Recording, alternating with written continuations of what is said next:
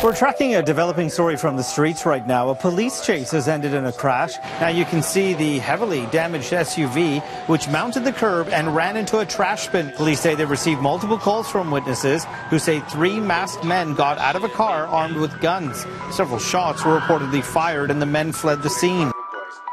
Niggas, they were talking that shit. Pull up and you know I spark it. Alright, what is up everybody? This is the story of Casper and K Money, two brothers that were rising up super quickly in the underground rap scene, getting millions of streams. Now if you don't know who they are, that's okay, cause this story is wild. Just while one of their most viral songs ever was doing numbers on YouTube, getting 11 million views, these brothers were high off Xannies in a rental van, wearing ski masks, plotting to shoot up a rival neighborhood. This shit led to an insane police chase that did hundreds of thousands of dollars of property damage, and it was all caught on tape.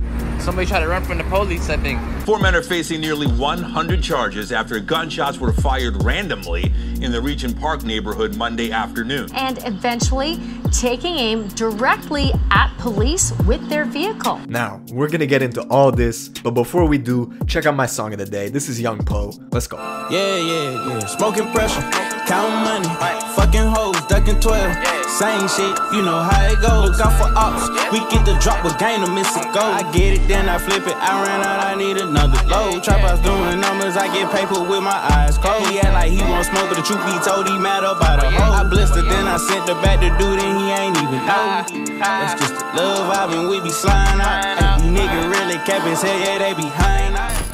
Alright, in order to understand this story, we gotta travel to the north. And yes, I'm talking about Toronto. I'm talking about Canada, where they pull up with the hockey sticks. And before my comment section turns into a battle between Canada and the US, just know that nobody cares. Really, nobody cares. Now, K Money is a rapper from a place in downtown Toronto called Alexandra Park. He and his brother Casper have been blowing up the rap scene for years, right? Their songs play at Raptors games, hockey games. They got pretty huge clout in the city city. But unfortunately, they've also been in a perpetual war with a place called Regent Park, not too far away. Now these two places, Alexandra Park and Regent, have been beefing since about the 90s. And because of this territorial war, there's been executions at the malls, people getting gunned down at recording studios, home invasions. It's even gotten to the point where the Regent Park gang was doing internal cleansings, ordering hits on their own people. But regardless, K Money and his brother Casper, they were trapping to pay for studio time. They were big proponents of living what you rap and rapping about what you live. They got caught up in some charges, some drug trafficking charges, and something to do with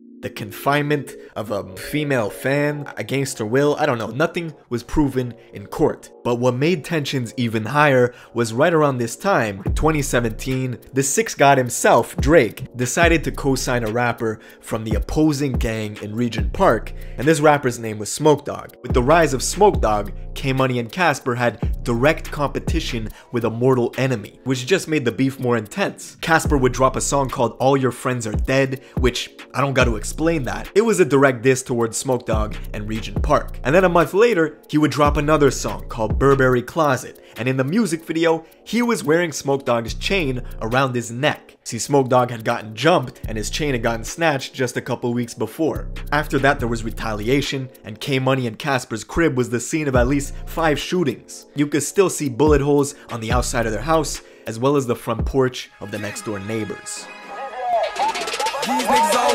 They ain't really in the trap. They just posing where other niggas stacks. These niggas all act. Now, just a couple months later in 2018, the rival rapper Smoke Dawg would escalate the feud when he went over to the brothers' block to shoot his own music video at their housing complex. This was like super disrespect. And on top of that, the house that K Money and Casper were currently living in had also recently been shot at again. So the brothers had enough of this bullshit. They went to the Regent Park neighborhood in broad daylight to shoot it up as retaliation. They popped some Xannies, put on some ski masks, got an all black rental van, and headed over to Regent. They let off some wild shots into a crowd of people, which triggered an emergency call out to the feds to investigate the scene. Now, somehow the police already had a team of plainclothed detectives not far away. They were investigating the shots when all of a sudden they came across a rented black van with three men wearing ski masks in it. The police went to confront them. The investigators immediately pulled into the van to block the brothers' exit. But the police did not account for the Zanny power, which usually makes you mellow as fuck, but somehow turned these brothers into Vin Diesel from Fast and the Furious. K Money and them hit the acceleration and swerved into oncoming traffic. The chase was on. Now, this was some pro driving as they were swerving in and out of lanes, dodging people. They hit a couple taxis and they hit a police car. And at some point,